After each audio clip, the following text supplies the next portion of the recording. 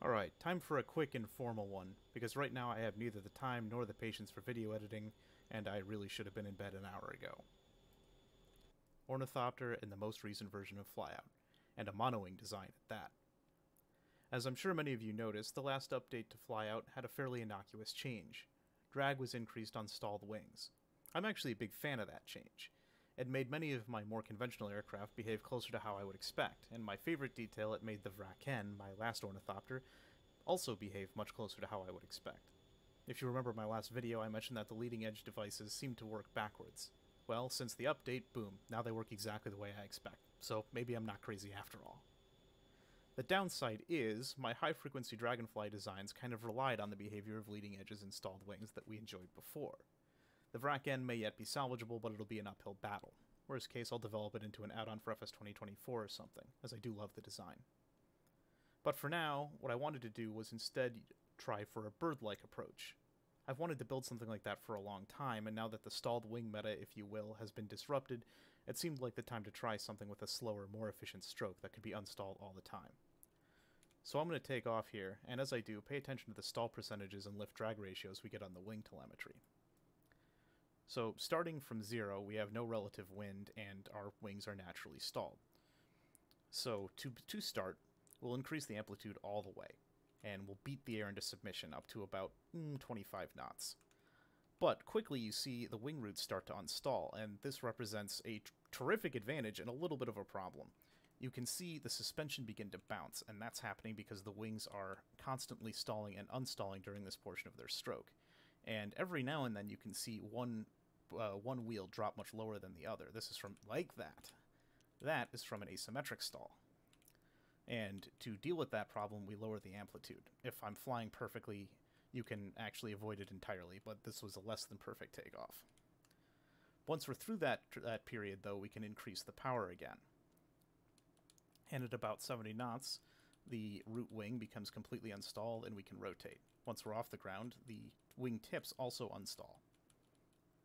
So we've got positive rate gear up, and I will pull out the little bit of leading edge flap I have in to ease the takeoff roll. Alright, now that I'm off the ground, I'm going to fly a lazy pattern and go over some of the reasons for the design and a bit about the design itself. Like I said, I've been wanting to build a mono wing. I've been pursuing the Dune ideal, and that problem is very interesting to try and solve. But it's not actually what interests me most about ornithopters, especially in flyout. It's no secret that I like my machines needlessly, senselessly exotic, but when it comes to that sort of thing, I'm more interested in feeling out the boundaries of reality than I am in building outright science fantasy. That's one of the reasons I rather like the change we got. Based on my understanding of aerodynamics, it's probably it's probably a problem that the Vraken should have, that its wings remain uh, stalled for too long and it can't really develop thrust uh, during that transitional period. I'm not sure that it's complete nonsense with the right material science and fly-by-wire, but it's it's definitely an out there design. And with the control that we have available to us in Flyout, I really would not expect it to work.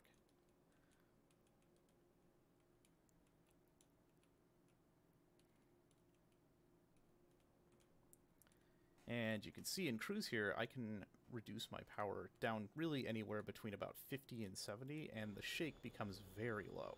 It's not quite as low as a seesaw ornithopter, but it's surprisingly close. I'm pretty happy with that.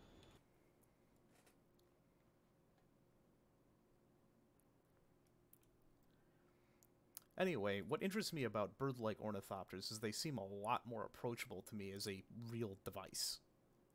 I think they're much more fertile ground when it comes to ornithopters on Earth with human technology in real life.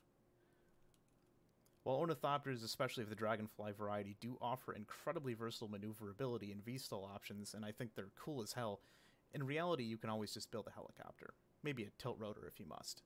The species that builds these ornithopters canonically, the one I mentioned in my last video, have a deep, almost spiritual passion for invention.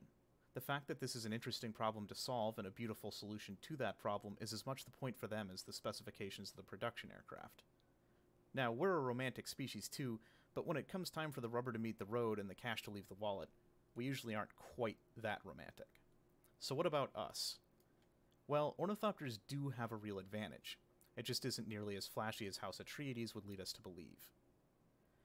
I've mentioned this here and there with the Vraken, but as you can see, I can lower the amplitude very low without really losing much in the way of energy. I can maintain my airspeed and altitude down to a fraction of the throttle that I probably could with a conventional aircraft. And this is due to the relatively significant propulsive efficiency of the ornithopter design. There's probably far more to this than I understand or could explain if I did understand, but the superficial thing is that ornithopters don't require any sort of outboard propulsion. There's no prop drag here, there's no nacelle drag here. The only drag is coming from the wings, and we needed those anyway.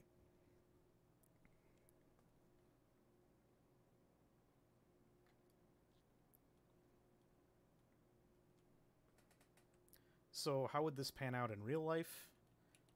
Hold on, I'll make a sort of a long base turn here. How would it pound on real life? I don't really know. It would depend on how efficiently we could move the wings to begin with.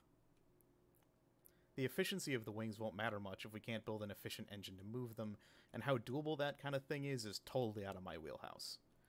That said, if we could make it work, I think ornithopters have a great deal of potential in applications like motorized gliders. The Schmidt example gives me some hope that it really could work that way, but who knows. Oh, we got a little bit of stalling there. This is a tiny bit sensitive. There we go. A little bit of trim will save us the tip stalling.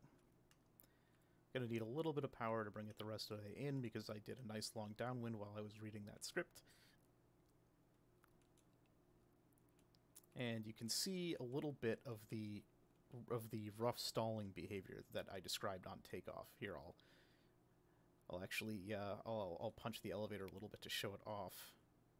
Because the wings are flapping, they stall at uh, they stall intermittently as they start to stall, and that usually manifests as shake. But if you're on the edge of a stall like that, it can actually be quite unfriendly. Uh, I have done a fair bit to mitigate this, which is why it's flyable at all. A lot of that was luck, some of it was by design. Uh, this uh, leading edge shape seems to be important for reasons that aren't entirely clear to me. Uh, Higi, a friend of mine, suggested that I try it. He had a monowing ornithopter flying ahead of me. Uh, but anyway, if you are attempting one, I suggest it. The other major difference uh, aside from balance and uh, I have mass pushed forward and back just to increase the moment of inertia, uh, are these little leading edge flaps. And uh, one of the nice things about the last update when it comes to ornithopters is it increased the amount of camber change that is affected by leading edge devices. And camber is a good way to delay stalls. So by deploying these leading edge devices, which now behave more as leading edge devices and less as canards, uh, I am afforded a bit more angle of attack range for these wings, which is very important at preventing the stalls. So by running takeoffs and landings or any sort of low power flight with the uh, leading edge flaps dropped 25 or 50 percent, which is 5 or 10 degrees, they max out at 20, I am able to both reduce shake considerably at low airspeed regimes and also prevent those very dangerous tip stalls as I demonstrated earlier.